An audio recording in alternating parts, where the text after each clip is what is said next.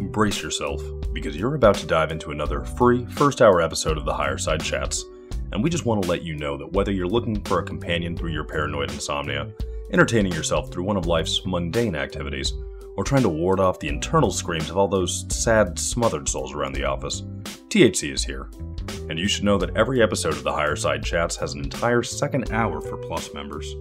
Sign up at the highersidechatsplus.com and you'll get years of Plus show archives, lifetime forum access, a special invite to Greg Carlwood's monthly joint sessions, MP3s of THC music, bonus episodes, tour videos, and 10% off t shirts, grinders, and whatever else ends up in the higher side store.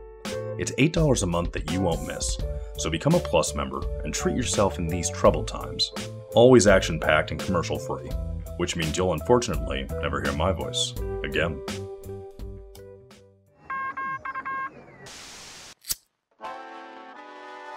In the 1930s, President Franklin Delano Roosevelt addressed the nation through a series of radio broadcasts known as the Fireside Chats. His aim was to reassure the common man that our society would recover from its troubled times. Well, we're far from 1930, and I deal with a different kind of fire. For a new era of worldly frustration, we offer a fresh conversation. I'm Greg Carlwood, and these are the Higher Side Chats. All right, people from sunny San Diego, I'm Greg Carlwood, and when we look at the history of Archon infected empire expansion, it's clearly carved a very cold and bloody path to the place we are today. In fact, it's almost impossible to truly reel back its influence, its baggage, and the occupation of ideas that still poison the mental well of humanity. Just look at something like language or even food, and you'll see how quickly empire comes up. In the context of spirituality and magic, this often means that any Westerners interested in rejecting the materialist model or the angry dad in the clouds paradigm we're presented with, and walking down the path less traveled, will usually start with the works of Manly P. Hall, Aleister Crowley, Blavatsky, the Golden Dawn, or any of the initiatory orders or secret societies that not only dominate the literature, but often have too cozy of a relationship with the state to make me all that comfortable myself. But eventually, the Western blinders come off, and we see that magic and spirituality are about as universal as they get. And only because of the brutal steamroll of colonization have we lost that understanding, and oftentimes the fractured communities in their wake as well. And today, I think many of us are looking back at the cultures and people that the power pyramid has used and abused and are trying to unpack their ways and their understandings of life and reality because the answers yielded by the all knowing empire are not nearly good enough. So, with us here today is Natalia L. Forty, a writer, storyteller, cartomancer, and advocate of the magical worldview from Puerto Rico, who details her journey on her blog Mist and Ether. She's pursued her education in literary theory and criticism with undergraduate studies in English literature. She's also the author of The Poetic Arcanum and The Otherworldly Journey with the Suit of Swords, where she combines storytelling and poetry with the rich and deep symbolism of the tarot. So let's do it. The Caribbean cartomancer, lover of literature, and divinatrix extraordinaire, Natalia, welcome to THC. Wow, that is an excellent introduction. Hello. I try, I try. And thanks for doing this. It's always exciting when I ask someone if they'd be interested in being a guest and they're actually a listener already, so that was nice. And the real catalyst for asking was this piece you wrote called The Politics of Unnamed Desires, which we'll get into. And it seems like it's far more political than your usual writings, but I found it right at a time when I was also thinking about the fact that I'd love to have more guests from outside the Western bubble, or at least talk to people more embedded and raised in the cultures that not only have deep spiritual and magical traditions, but also have been impacted pretty dramatically by colonization and Puerto Rico seems like it checks both of those boxes pretty boldly, and it still has a lot of struggle and turmoil caused by its odd nebulous status with the United States. So I think you'll have a lot of interesting things to share with us. I suppose this might be one of your first podcast appearances. So maybe we could start with where you might have either have seen either of those two things growing up, spiritualism and magic or the negative effects of colonization, how do those things impact a person born and raised in the Caribbean? Oh, goodness. That is quite a question. Ooh. All right. Well, I wasn't raised in Puerto Rico. I was raised in Florida, where, you know, there are many, many Puerto Ricans. And I came to Puerto Rico to study, to continue my um, higher education. So I transferred to the University of Puerto Rico. So it was a big culture shock. So just with that alone, I was raised with not a i guess grounded identity you could say because i i wasn't a part of florida. You know i'm puerto rican so i lived there. I was raised there but in part it wasn't my culture you know? And then i came here and that was the case as well. I found a great culture shock. And of course i visited puerto rico you know frequently every year and I think I've always kept retained this feeling of not belonging anywhere.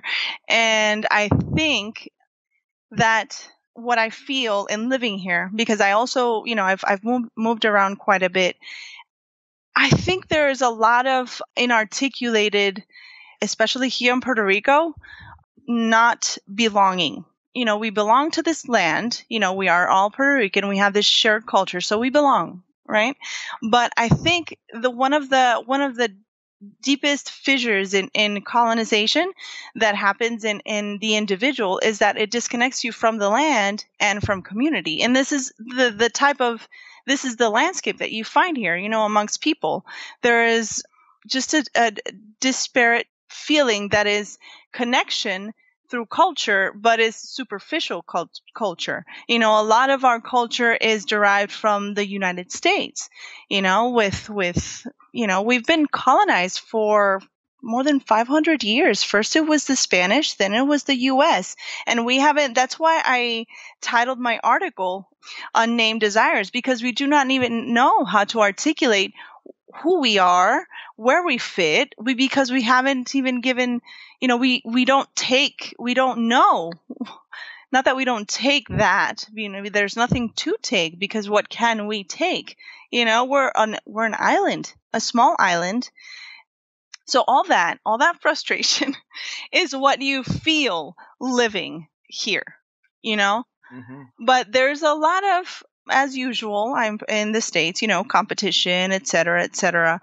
But there is a lot of thievery, piracy, a lot of, as you know, corruption, as in the States, as in many other places. But here it's, it just has a different feeling to it. I don't know. And I think it's because we don't, we don't have the sense of place and of belonging.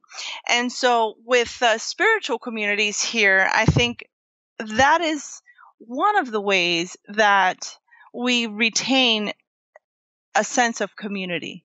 You know one of the one of the ways because there are also people that you know don't belong to any spiritual communities. But in spiritual communities you find relief you know eh, the, the you're able to communicate and you know even if even if certain things are unaddressed and unsaid but the living the daily living and the daily pulling through that is addressed in spiritual communities. And i think that is why they're you know communities is a is a big thing here spiritual communities. You know even the christians and you know the different denominations the different types of communities outside of christianity as well spiritism and also in you know santeria and all the you know other different communities spiritual communities well i think that makes a lot of sense i mean even just to see something like you use the tarot a lot and it seems like you're using a Spanish tarot deck. I mean, that in itself is like, well, clearly there's some major influence. And it's got to be a strange feeling of not having a ton of autonomy. Yes. Because you always have this overarching yes. Uh, empire. Yes, that's the word I was looking for.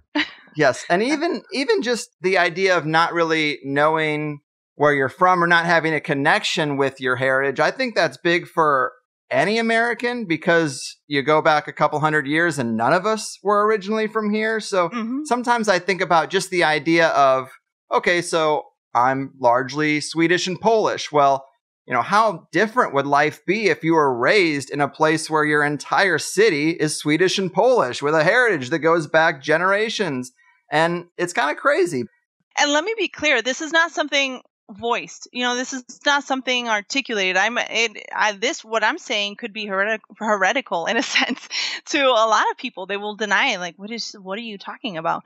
But it it you see it every day because it's complete disregard to the land. You know, here in in Puerto Rico, the highest bidder is the one that takes the piece. You know, and and especially if they come from outside.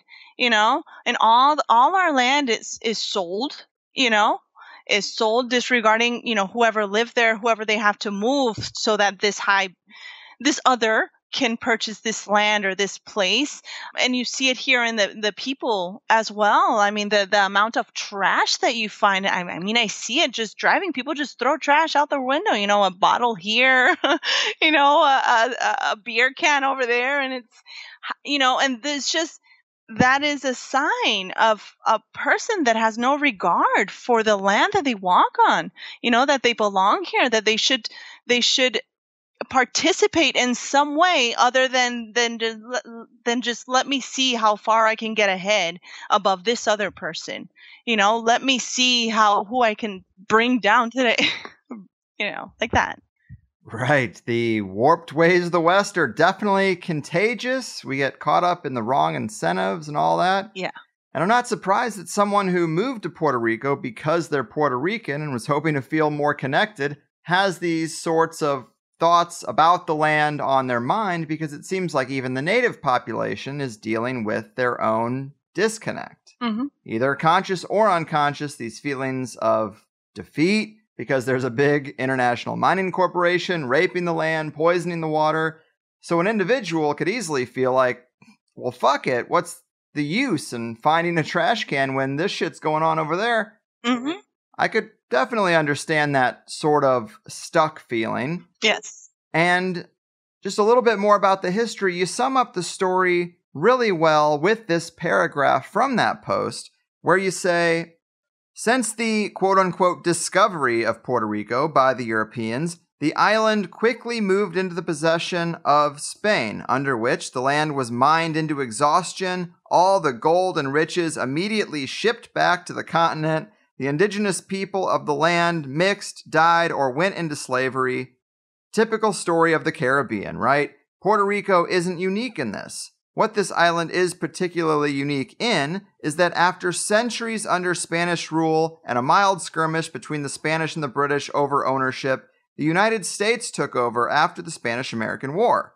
The island passed now into the ownership of a new head, a new banner, and a new culture. Are you seeing a thread here? Speed up a couple hundred years, and here we are, still under the wings of the United States. At no point in our history longer than a day after the Europeans stepped foot on the island have the people of the island been sovereign. If you sit and think about that fact and about the repercussions this reverberates into a people, into the land, well, it's quite something. It is crippling. and I just think that is a killer paragraph. Definitely heavy. Also, I listened to those Sancista Brujo Luis interviews that you had sent me, which fold in the magical context within this unique history, and he refers to Puerto Rico as a big magical melting pot. Mm-hmm. Not only are there many traditions across the islands, but Puerto Rico is also the first place that African slaves were brought to, so their traditions have folded in and mixed as well. And then, of course, you've got to add that Christianity current running through everything. And it just seems like after all this history, it's pretty safe to say that Puerto Rico is a fairly unique and interesting cultural and magical microcosm, isn't it? Yeah, it it is. I mean, you can find that in other places in the Caribbean, and obviously in other places in, in different countries. But yeah, some it it created quite an interesting mix here, and and now you have, you know, you have espiritismo, you have espiritismo cruzado, folklorico, like different, you know, and that it just those are just different branches of spiritism, you know, Kardecian spiritism that got, you know, absorbed into different ways of life and different cultures that came from other places and they just made it their own, you know, within the community. You know, those different communities that took the Kardecian spiritism and made it their own and, and transformed it in, in many ways. And it's, I think it's beautiful. Yeah. Yeah. what traditions maybe seem the most popular and how widespread is magic and spiritualism down there? Because, of course, if you've lived in Florida, I know you also lived in Seattle, almost non existent. Yeah. how far does it penetrate down there? It's pretty deep. I mean, and and obviously it depends on the house, on the on the temple and the different spiritist house, but it is popular to approach spiritism and it is said that that is the foundation. You know, whichever other branch you want to follow, whichever other tradition you want to follow, spiritism provides the foundation with how to work with ancestors and how to work las causas and things like that that that provide a foundation so if you when you move into another tradition you have that that solid base that gives you the tools for spirit work basically Mm-hmm. For working with spirits and interacting with spirits and recognizing different types of spirits and things like that. Obviously, each tradition has their own spirits and ways of recognizing. I don't want to, you know, I'm not part, I don't know, you know, each temple is different. But I do know that it is popular to approach spiritism from that perspective that it is the foundation so you begin there and you refine your you know you you hone your skills as a spirit worker through spiritism and then you start you know evolving moving meeting other temples other people and from there you branch out and your path is made clear i guess it's the way to see it right on so you mentioned that you're part of a spiritist house. Can you tell us anything more about yours and why you might have chose it over others? Well, I don't know that in my case, I didn't really choose it. I just found myself going there. Mm. it was because I was I met this person through a job and I, I I knew her and our you know, our friendship and relationship grew through that job. And then I met my partner, and from there, he also had a friendship with her, and we began forming part of her group and going to, you know, the sesiones and misas and all that.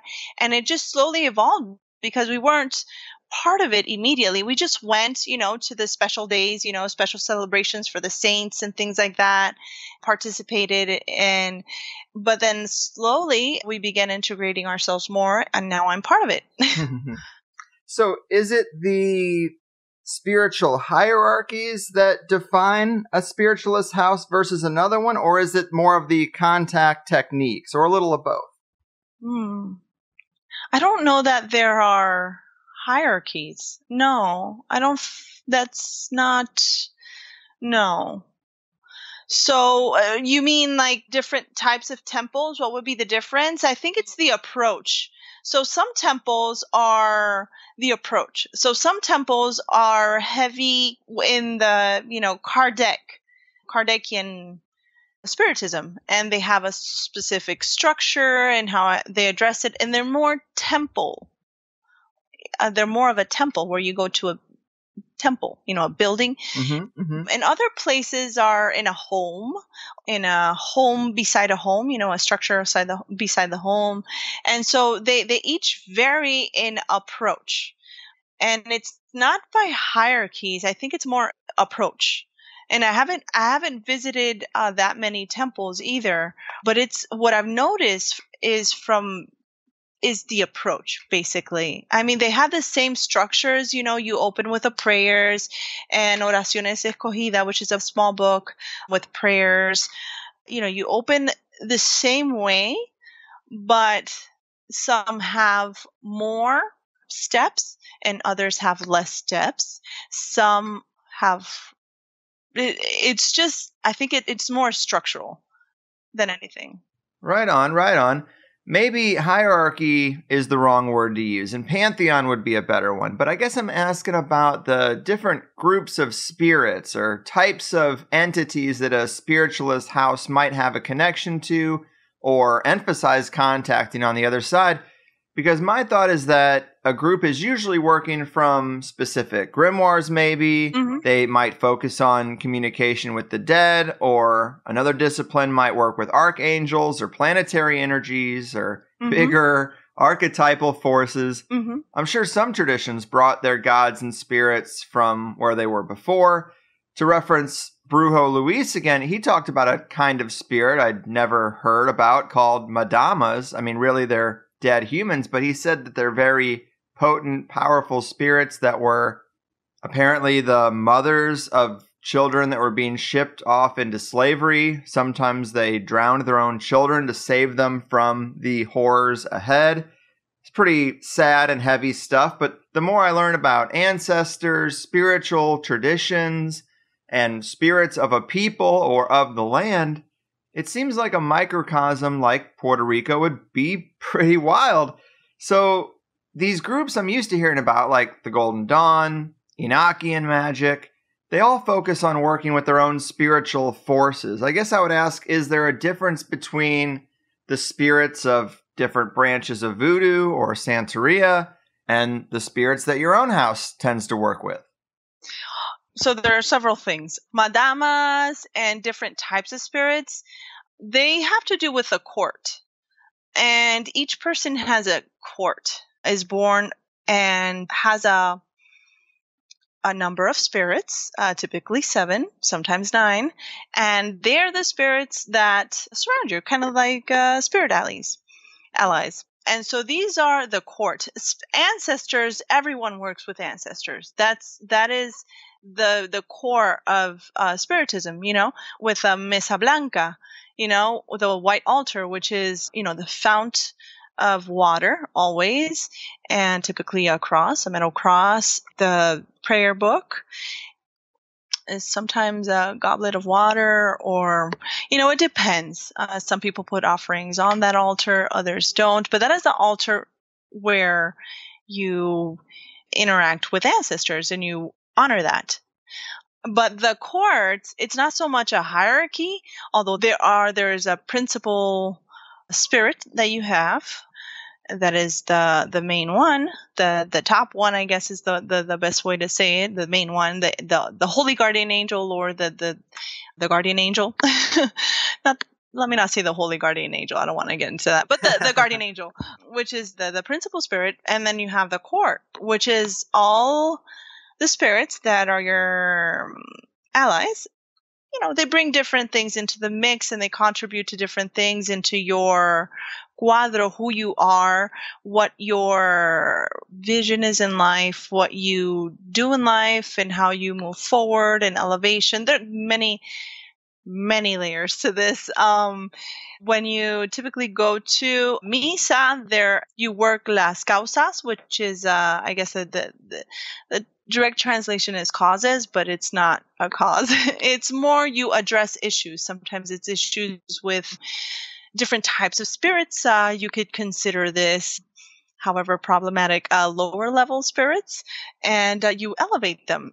It goes by each individual. That's what you work in in these uh, misas, and sometimes you know you also address things in the uh, issues with the spirit uh, in the courts in the courts of each individual. So things like that. It's more of like, you know, like going to, I don't know, a doctor, you know? you address spiritual issues, you know, Sure. spiritual things that need addressing. You know, sometimes, you know, someone threw you the evil eye and you have things going on, bad luck in your life. And so it, it's addressed in these sessions.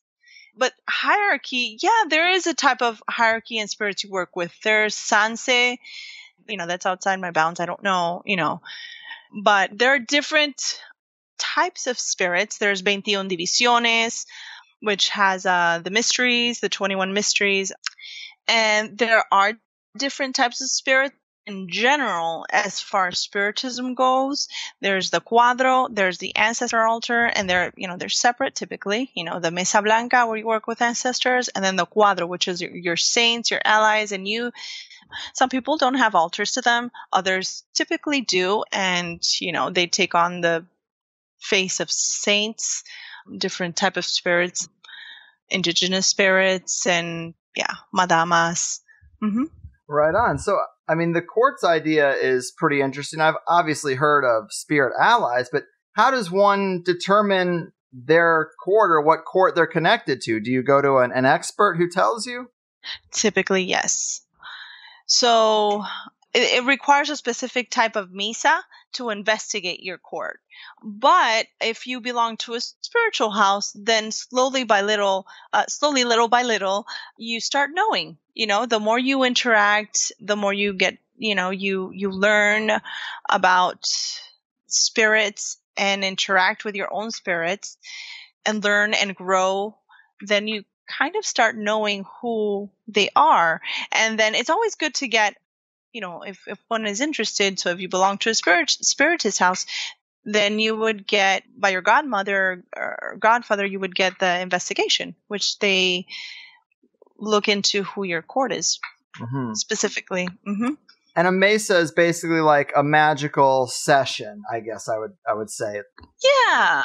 Brujo Luis kind of breaks it down as three different stages. You open with a prayer, then you do some like kind of cleaning. You use some waters to uh, purify, to clean. And then that's when the real work begins. But he describes some pretty intense stuff. I mean, really intense channeling, mm-hmm. mounting of the medium. Yes. I mean, it seems pretty wild. And I think a lot of times American culture just kind of, it hurts the potency of magic because it is so loud and bright.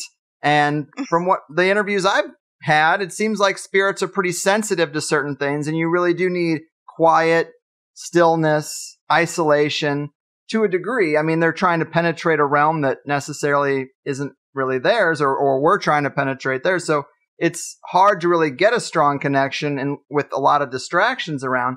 But the stuff he describes is pretty wild. I mean, have you seen any particularly potent spirit contact? Yes, indeed. yes, and you'd be surprised. I mean, yes, spirit, some spirits with everything. You know, you know there there are different different spirits, different people, different animals, different. There's differences everywhere. You know, right, there are right. different types of things in in this world. I like to say um, in Spanish, "Hay de todo en la viña del Señor," which is a, a Bible verse, I believe, or a, a saying which basically means there there's everything in the in the in the everything. Yeah. there's a, every type of everything. everything is, I guess, you can see. So you'd be surprised because these some of these, especially the when there's a special misas held or special festivities held, it gets pretty loud and there's no uh, you know and it, it you know with the music there's music and there's still you know people that that mount spirits. So it's not you know it it just there's different types of spirits, but there is when you go to a misa tends to be a small group although you know in the templos they are larger there is an order. And so the head medium was the one that oversees the whole the whole uh, misa. But uh, there is quiet. That's why you begin with prayers. And one should you know the, ideally one should be in a state of meditation. I mean you don't go full meditation. You have to be aware of what's going on. But you know of attention is the best word. One should be in a state of attention to be aware, etc., and quiet. But that's not always the case. You know, sometimes, you know, it gets loud and, you know, spirits do still show up and especially if spirits show up you know the getting loud possibility is definitely a thing uh, yeah so it's not you know it's not it's not set in stone it's not one thing or the other you know Right, right. And I know it's also usually a pretty personal or private type situation, but in terms of mounting spirits or just spirit contact, I'm always really interested in trying to solidify like what their personalities are like or what kind of messages come from these entities because I haven't had a lot of personal experience. I really just get stories from people who are more embedded in that environment. And I guess, is, are there any kind of messages that you've seen or maybe intense mountings where you've felt like you were in, you're talking to a spirit directly because of course the personality of the person gets kind of out of the way? These things are vague to a lot of people who haven't point blank experienced spirit communication. Have you ever gotten any any messages or seen messages come out in a group that were interesting? Yeah, no, of course. I mean, that's that's the whole. That's uh, one of the major points of having a spirit mount or having that type of interaction is for the message. You know, if a spirit mounts is to bring a message. Sometimes mediums pass la causa. You know, the lower level spirit they pass them through their body. You know, and they give them resolution. And so, yeah, there's there's always a message. There's always a message. There's always, you know a conversation, I guess, you know? So, what kind of feel do you get from the messages that the spirits think are so important? Are they sometimes dark and menacing and grandiose? Are they personally directed to people in the room? Are they more like what you hear from ET contactees that we need to change our ways and be stewards of the land? I know they're all different, but are there certain themes in these messages that maybe come out more than others? No, it's it's typically practical. If it's a lower level spirit, a causa that is being lifted from a person and it and uh, the medium is mounted or this the person etc it there it gets dark you know it gets dark in a sense that the, the, what they're saying is is you know sometimes violent some uh, definitely just violent. Yeah, unwelcome. But when it is a spirit, an ancestor from the cuadro or a higher, you know, a higher level spirit, they come with a message for sometimes the group, typically the group, or let me say sometimes a group, or an individual or two individuals, and it's typically practical. You know, it's uh, it's practical, like pointing at uh, uh, things that need to be looked at and addressed in a person's life or spiritual life that need work and that need attention. So it's it's definitely typically practical and there is evidencia. Evidencia is where it is confirmed through another or through, you know, so there is yeah, there is confirmation there in, in that sense with in spirit interaction. Mm-hmm. Right on. So to get into tarot a bit, obviously we've talked about on the show before. A lot of listeners are familiar with the basics, but why does tarot resonate so strongly with you? And how do you understand the mechanisms behind why it does seem to yield some truly meaningful insights? Okay, so this is a little aside from spirituality, but I do bring it in and involve it in spirituality. So tarot for me is a language, plain and simple. it is a language, a visual language that. So when you look at the cards, you ask a question. Typically, it is a practical question, and these images arise. And I think the beauty of tarot is when the person reading the cards is able to see the answer, you know, in a way that not, you know, in a very precise way, you know, in a way that helps you recontextualize your question. And obviously, you always answer your question because a tarot reading for me always starts with a question. But the beauty of tarot is that since it is a, a language, another type of language, a visual language, a language of forms, then it is a way to step outside of your normal language, words, and you see the visual and you see things often, you know, it, it you answer, the reader answers qu- the question in seeing things that they might have not seen or noticed or been aware of. That's, I guess, the initial what I feel tarot is at base level. It is a visual language of forms.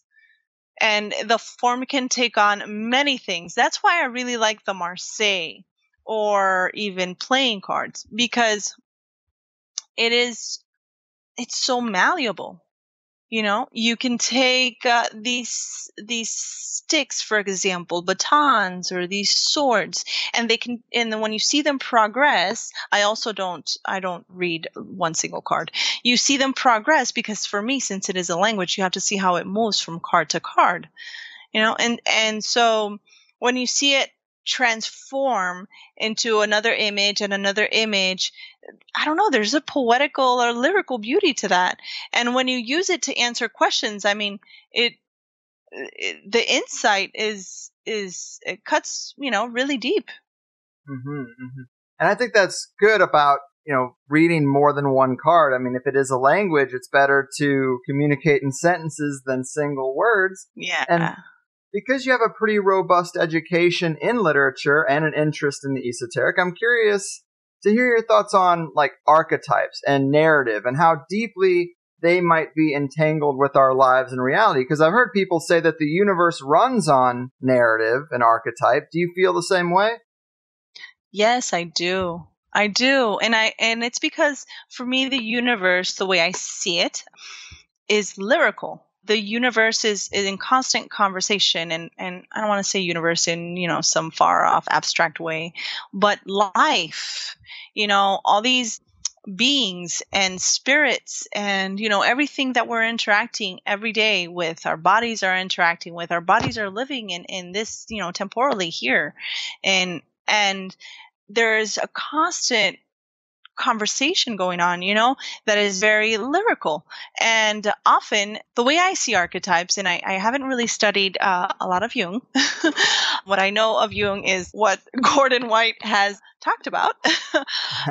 but uh, for me, archetypes is that language, that lyricism. It's just another word for this this upwelling, this this discourse that we catch, yeah. and the way that's why I at, at one point in my blog I would I would always emphasize paying attention, being aware, but it it it's because of this, you know, when you live more aware, when you pay attention instead of, you know, in some abstract things and all these symbols and you know and all these you know, and in the case of tarot, you know, all these meanings and significations that someone said and someone said and another said and another.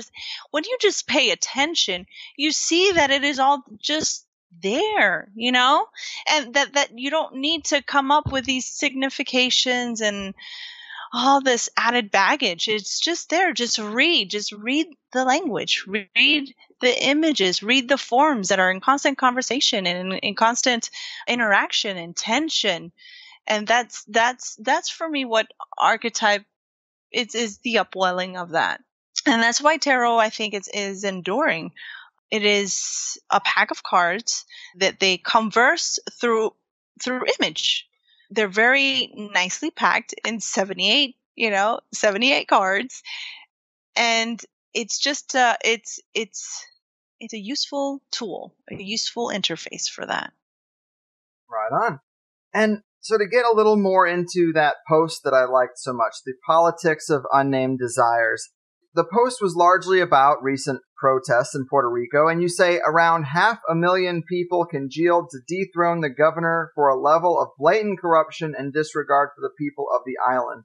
And I'm sure we're all familiar with puppet leaders who just serve the larger empire or people in power who are very disrespectful to the people they're supposed to be nurturing. Mm-hmm. But what can you tell us about maybe those protests for a lot of Americans who probably weren't even aware half a million people congealed to dethrone a governor. What were those protests about, and has there been any real resolution now since it has been a bit of time since you wrote that? Mm-hmm. Yeah. Yeah, I did consider writing a follow up post, but I left it unfinished. So, what happened is that, well, there was already a lot of displeasure with the governor. You know, he was incompetent. He was appointing people in his uh, cabinet and in, and that were just stealing from the community, from the general people of the island. And, um, you know, many schools have been closing for years, you know, public schools. So there was just a, a lot of discontent. A lot of people were unhappy. But it's nothing new, you know, with every new governor, people are unhappy, but, you know, it's, but in this one, it was that chat.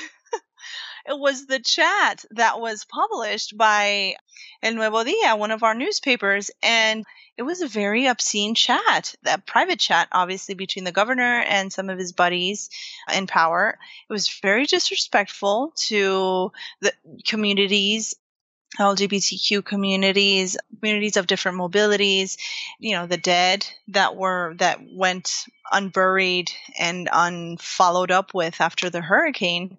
And it was just very disgusting.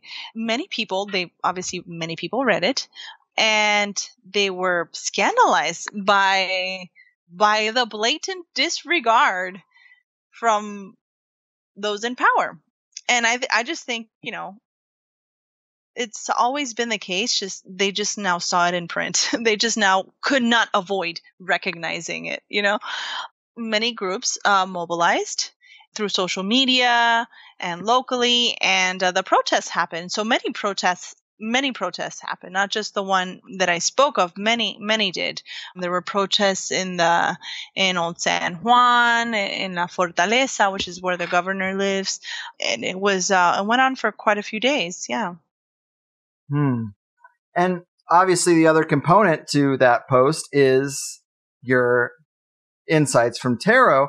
And I guess I'm curious how that maybe helped you get a deeper understanding of what was going on there. Of course, I read the post, but for people who are maybe trying to understand how the tarot can get you a deeper understanding of something that's kind of abstract, that isn't such a personal thing like where am I going to find love or what's my next job? What kind of insights did the tarot yield for you in terms of trying to maybe get a better grip on the depth of this discontent and the reason for the protests? So I I read tarot for context. When I read tarot and the questions I when I I myself go to the cards or where someone else comes to me, that's why I emphasize the question.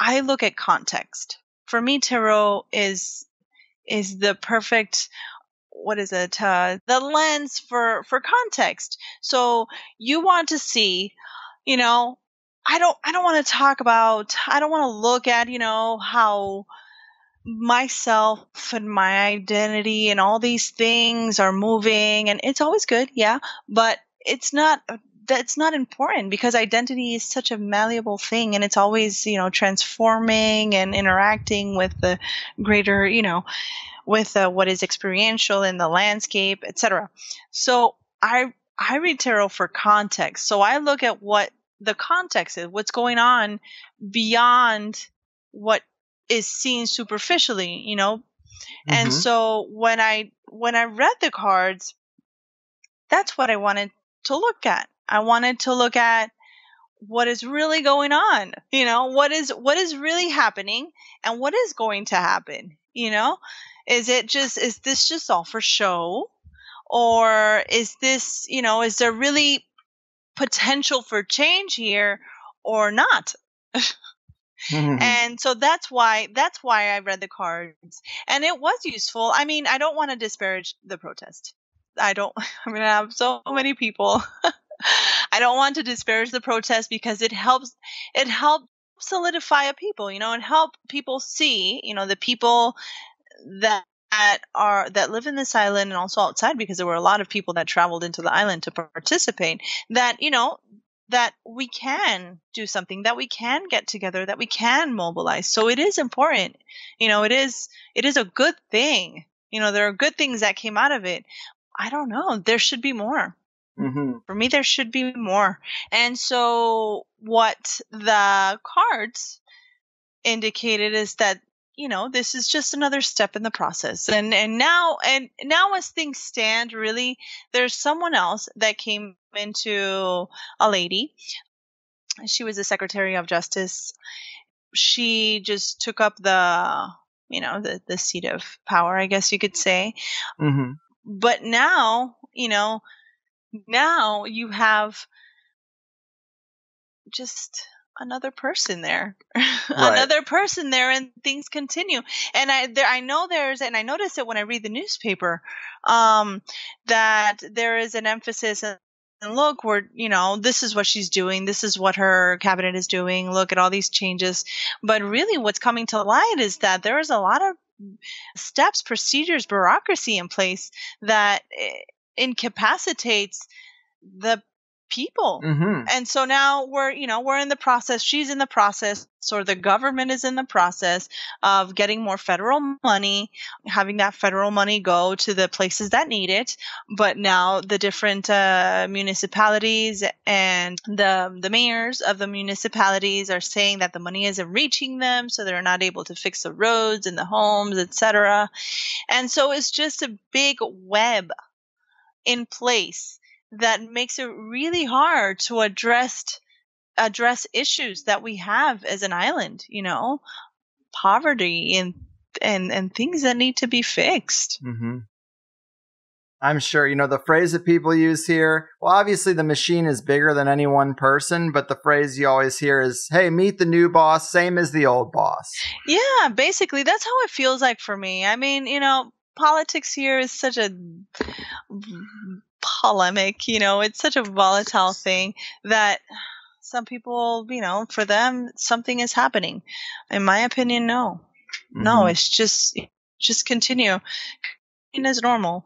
And now that we're talking about parceling out different you know restructuring the land a planification committee that way make it more accessible for outside companies to buy land and make you know paradise here for you know hotels and things like that. So you know Right. that's the things that that bother me. You know if i'm really frank and this is you know this is probably not welcome sentiment or acknowledged if i'm really frank i think all that is useless. You know i think i think all these attempts at making a, a, a- better place you know in government wise and putting all these steps into place is just putting more procedures and more steps for someone else to come in buy the land and make you know a paradise for someone else Mhm. and it's it's just it's insufficient that's why i think it's more important for each each individual that's why i it has to be each individual that decolonizes that each individual goes through the pos- process of decolonization that of, of, of seeing things as they are not living in this fantasy land because half the people here are living in this fantasy land you know that we can we can continue living off of the milk that comes from uh, the US, you know, the federal government. And it's just insufficient. Insufficient in a in a all our food, a lot, a great portion of our food comes from ships. You know, when each one of us can and there are communities mobilizing, you know, you know, agricultural communities, yes, but no there should there needs to be more. How can how can we be destabilized you know? When we can grow food we can create communities that provide for these things when a hurricane happens because hurricanes are going to continue happening. People pretend that we live in a bubble but we live in the caribbean and hurricanes pass through here. So they will continue passing through here as normal and they will most likely get worse so, you know, it's we don't we don't see the real picture, the big picture. We don't see things as they are. And that's why I think we each individual this is me saying it, but I cannot, you know, I cannot make someone else go through a process. You know, this is just how I view it, you know. Mhm. This is what is important to me. The process of decolonizing the self, of seeing things as they are, and of removing all this baggage of shit. yeah, yeah. Well, that's kind of what I, you know, when we started talking about colonization and the magical community, and you know, I mentioned that you use a Spanish tarot deck, and it's kind of like it, it's it's so ingrained that it's hard to reverse engineer. It's hard to really unravel all the effects of it, and maybe that's not the goal. Maybe that shouldn't be the goal. Like you mentioned, the decolonization of the mind. Maybe it should just be that. It should be like, we can't change the past. We're not going to ever return to a pure and untainted Puerto Rico and Puerto Rican culture. You know, it's always going to have these influences that have been brought in. And I guess that's everywhere. And is that really the end of the world? I mean, I guess it just is what it is. But decolonizing the individual and how you look at that is probably the important step to take. Yeah, no, and I'm not, you know, I'm not, I'm not saying we should go back to a, a pristine place. We're, you know, we're never, we've never been pristine. You know, we've been moving from place to place and interacting. You know, we've never been pristine. There's no such thing as pristine nature. No, what I mean is that is understanding our place, knowing where we are, and thinking, okay, what can we do? What can I do? Because I can't, you know, force anyone next to me. What can I do?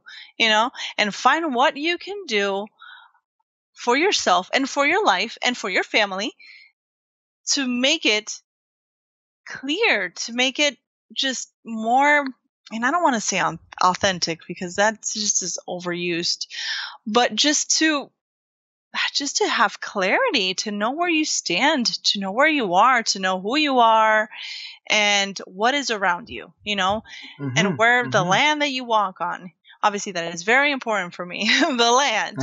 and so, you know, I'm not I'm not I'm not saying that everyone should go back to a pristine place, but I'm saying everyone should be honest with themselves and and learn to pay attention and learn to be aware and learn to be in place and be in body in place because you know instead of living in some fantasy land you know especially now with cell phones and you know I, I very much agree with Peter Grey's sentiments. You know, society of uh, the of surfaces, no substance. so it's it's definitely the case here as well, and especially since school, you know, since very early age, they're telling you all these stories that are dissonant with the land that you walk on, the place that you live, and who you are. You ask half the people here when there are polls, are you white? Are you this? And a lot of them will say white, you know? And it's just funny. I mean, you know, okay, there there are white people here as in the color, but you know, it's just I don't know. I think it, it's more. It's it's it's more. Yeah, well, I really think you're on a roll here, and I do think that this stuff is super important. You mentioned getting your food from ships, and that's a big thing. Like, what is a better reaction if you're angry at the empire and you want things to be decolonized ultimately? Is it better to protest in the streets and then go have a Coca Cola that came off that ship? Or is it better to just stay at home, take care of your family, and have a community garden? Yeah, exactly. You know? See, that's what I'm thinking. That's more along the lines of what I'm thinking. You know, how can you, how can you stop relying on a system and an infrastructure that is insufficient, that will not support you, that will not work for you, that will not serve you, that will not help you? You know, when when all this this lady that's now in power, Wanda Vázquez, I think her name is, there were ships that had goods and supplies for us that did not make it to the community you know, because of some procedure, bureaucracy, bureaucracy order. I don't know, but they didn't make it, you know, to us, to the community that needed that needed it. So we had to figure out how to live amongst ourselves and help ourselves, you know, help each other and help the other and this one next to me and this, you know, and that's what I think we should we need to learn to do. Yes. Because, you know, another hurricane happens, another catastrophe happens, and uh, what are we going to do? You know, buy a lot of water bottles and create more trash. And when the water bottles run out, have no water, and, you know, eat canned food you know, from where? What if when the canned food is over? And now gas is going to go up, so food is going to go up here. It just it's just made the system is made to fail. Right. To fail for us. And also to cripple independence. Yeah. I mean, you can't be independent and also suckle from the teat of the big machine. You can't do both, you know? Yeah, no, definitely you can't do both. No. And there always is going to be another corrupt leader. There is always going to be another hurricane, as you say.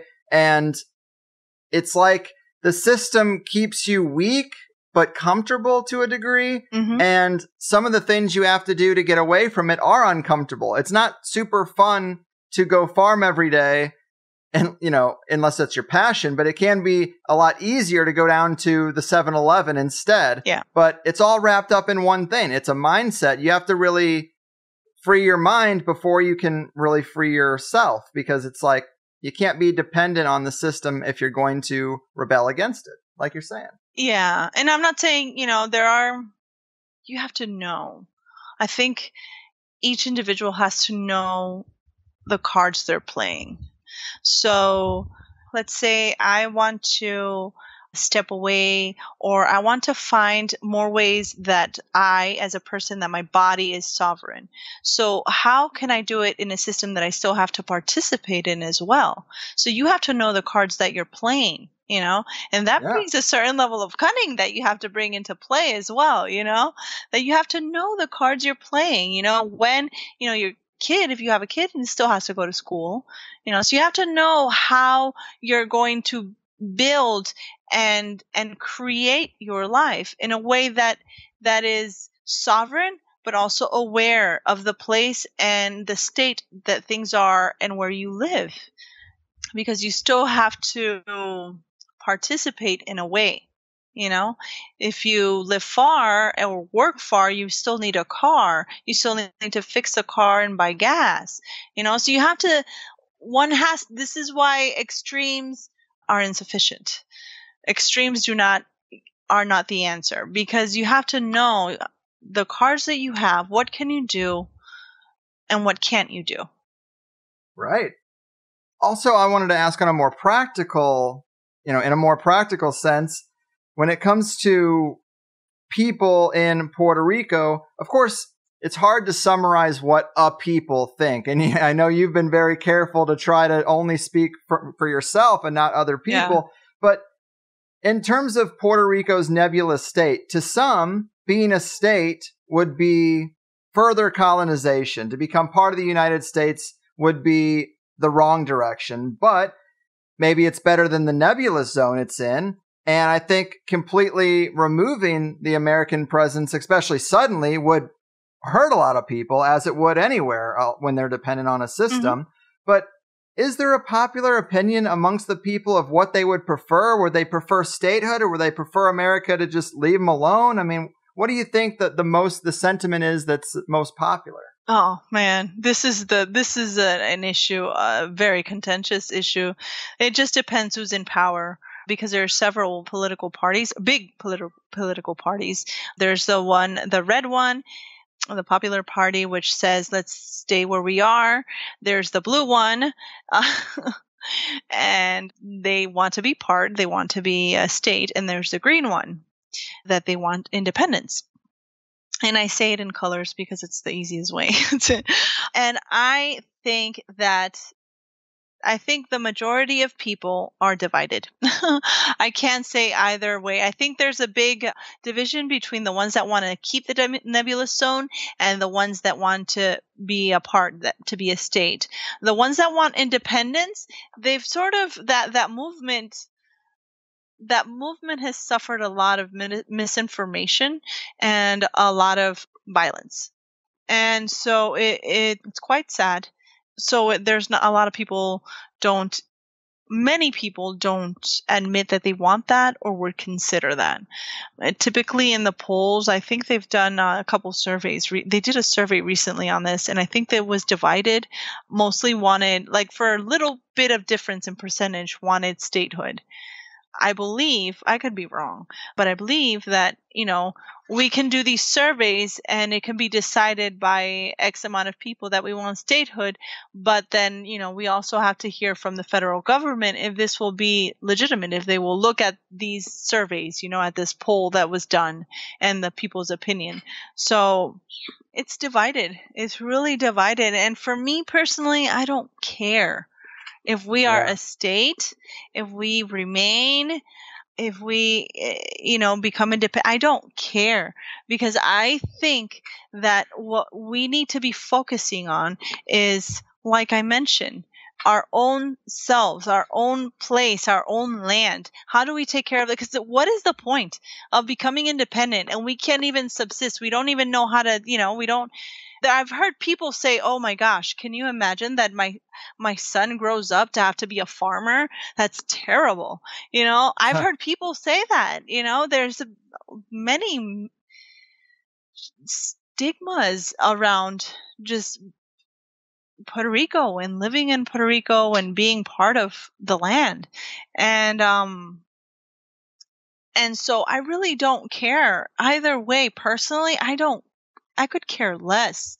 For me, for me, what I care about is that how do we take care of the land that we say we love?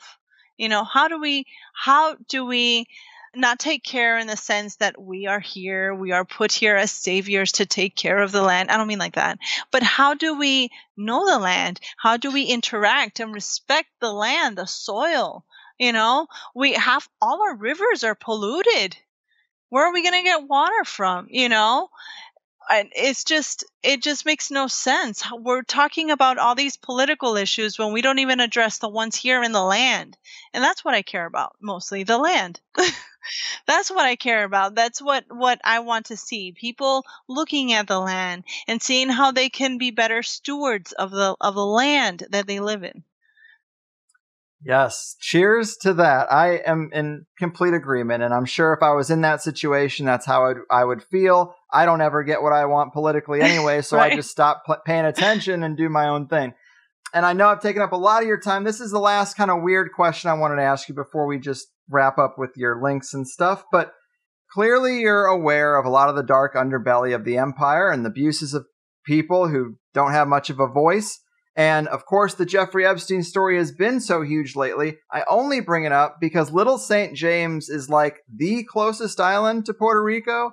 And I'm just curious if people in Puerto Rico or are responding to the story in any interesting ways or if that proximity has come up at all as far as you've seen. Nope. nope. I don't know if many people are aware maybe uh, some, a select few, a small group. And if they are, they looked at it, they went, oh my God, that's disgusting. And then just, they just kept going. Because, like I said, they, all the stories that are filtered to the general population is a, it's a fairy tale. It's, it's just, they only look at, you know, oh, this great empire, oh, this, you know, and I don't want to say that all Puerto Ricans are just subservient, but, and because it's, that's not the case, but very many of them do not look at things as they are. Mm-hmm. So no, I don't many. I don't know that many are aware of that. I've never heard that in conversation. I don't. I've never seen it in the, the newspaper. If it showed up, it was a very small article. yeah. Well, I've I, I don't. I'm not surprised because I often don't know what's going in, on in the next town or, or state, so I can only imagine the next island. But I figured I had to ask. The world's a big place, mm-hmm. and these two islands are very close, and uh, that other one's on the minds of a lot of people now. Mm-hmm. It's worth asking. So, anyway, this has been really enjoyable. I think everybody listening had a good time. Before we call it Oops. in, do tell us about your writings or your PDFs that you have or anything on Mist and Ether, just anything you might want them to know about digging more into what you do or if you do any kind of readings or anything like that. Yeah, well, I don't uh, at the moment do readings online. I do them live. So here in Puerto Rico, I do have uh, PDFs that you can download of what I've done with the tarot. And basically, I have the Poetic Arcanum, which is just a look at the majors, the trumps, and what they, who they are using the cards to answer that question the cards themselves. I also have, and so these PDFs you can go on my website, mistandether.com or .wordpress.com. So I have those PDFs that you can go ahead and download and print available. I also have an otherworldly journey with the suit of swords. So it's just um, cartomantic explorations, I guess you could say, through the lens of uh, poetry. I also have a piece that is part of 21 plus 1. Uh, Camelia Elias edited the Fortune Teller's Manifesto and I have that. I also have a, a story being published by uh, the Fiddler's Green coming out uh, next year. The Fiddler's Green Parish um, magazine, which is a zine. But yeah, you can just basically go to mistandether.wordpress.com and everything is there. Everything that I do. And I also have, you know, all my social media you know connections there as well and uh, for now that's all i do and i and I, I wanted to keep it simple and not I'm not big on promoting myself on social media, so I wanted to keep it simple. I have that blog because I like to write and I love the cards. And I like to write about the cards and I also like books and I like to write about books as well and review things and just talk about these things. And so it's all there and that's basically where you can find me. I am also, I think I'm, I'm on Twitter and Instagram, you know, regular places, not on Facebook. And that's it. That's all. That's all I have uh, upcoming for now. I'm still writing. I like. I dream of uh, finishing a collection of short stories, and so that's it. That's that's all for now. Very cool. Well, I do really like your blog. I've enjoyed the parts of animating the tarot pips that you've put up. Since we've been in communication, I've taken a look at your monthly forecast in the couple months that I've been able to digest it in real time. And I think that's a lot of fun. I try to fold that into what I expect the month to look like. And of course, an otherworldly journey with the suit of swords is, is a blast too. So I think people find a lot of stuff there to like. You're a really good writer. I hope you have a lot of success and get some good feedback from this. Thank you. Thank you. I hope so too. Thank you. Well, thanks again. I know it's a marathon session around here. I really appreciate your time and your work. Keep fighting the good fight and take care. Thank you. All right, Greg. And that is how we do it, people. Natalia L. Forty of Mist and Ether. I hope you had a good time. I know she was a little nervous, as anyone would be with their first interview, especially on a show that you've listened to before, and I thought she did as great as anyone would. Of course, she never claimed to be an expert or an authority on Caribbean magic traditions or spirit contact or the politics of Puerto Rico, but I still thought she had a lot of insights to share, a lot of similar interests to THC listeners, and just being embedded in that environment is interesting to people who probably haven't been. Just the difference in culture that everybody has some type of spirit belief is pretty foreign. But I've always liked bringing in people who haven't done previous interviews. It's fun to have conversations that aren't entirely mapped out in my head beforehand. And I've always liked the surprise element of THC. When a new episode comes out and you don't know the name, you're like, wow, what is this? It's fun. And I knew it was going to be more conversational because this whole thing stemmed from a single blog post, which is already light for the full focus of a two hour interview. But it was also a post that was outside of the norm for her. So this post the politics of unnamed desire, it really took on a life of its own. And look at it now.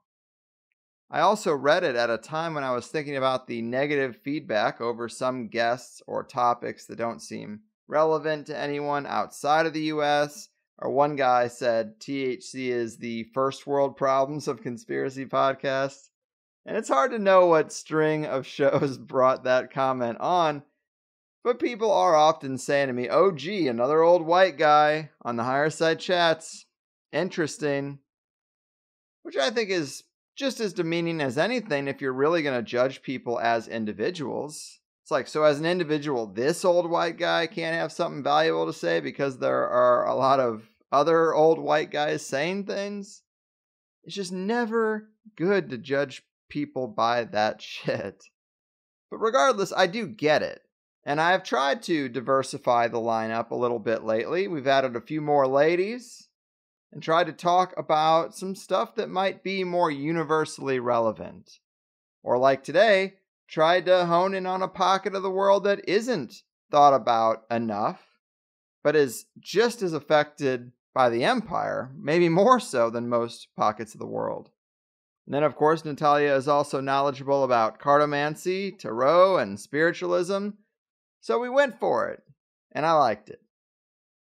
This was my first show that I recorded since being back from Austin and Gordon's As Above event, so a lot of this stuff was fresh on my mind and appropriate because she, of course, follows their work too. See if you liked her vibe, mistandether.wordpress.com is where you can read more. Links in the show notes as always. But just like Whitney Webb, it's important to acknowledge that the system does damage to a lot of people in places that are outside of it. I think most Americans would agree that we get some benefits. I mean, you got to be pretty dense to not admit that we get some benefits, and outside of our system, it's just all costs. I don't know. We want to try to make sure we're covering as much diverse ground as we can and make sure that we're not just turning over the same five rocks week after week. Also, I know we have listeners in Puerto Rico, and I'm sure they'll be happy to see this pop up. And I really respect Natalia's efforts to not speak for other people, especially people who oftentimes don't get to speak for themselves. It's a tough thing to navigate because we do it without even noticing sometimes. We generalize and oversimplify. And when a sentence starts with, it seems like all the people want, no matter what you're talking about, you're probably wrong that was just another element of the conversation that came into play today. But as always, THC interviews are two hours instead of just the one if you are a plus member. And in today's, we talked about how to find your agency within the landscape you're in, Natalia's monthly tarot forecasts, her favorite decks and why they seem more potent, St. Cyprian, tips for ancestral contact, understanding the life death cycle with Natalia's added spiritual context, what trends she sees coming in magic, and a little bit about how racism or colonization might color our outlook on indigenous magical traditions. It's that pesky colonization of the mind, let me tell you. There's actually an author from Kenya. He's in his 80s, but he wrote a book called Decolonizing the Mind The Politics of Language in African Literature. And I tried to track him down for an interview, and I haven't heard back yet, but that is a great, intriguing book title. In Higherside news, the developers are definitely done with the work. I've got a few more things to do on my side. Emails related to the changes are still coming in, but I've got about 95% of people answered and their problem solved. But now it's sort of crunch time for the end of the month here. So I should have this last show out on Monday. Actually, I have to.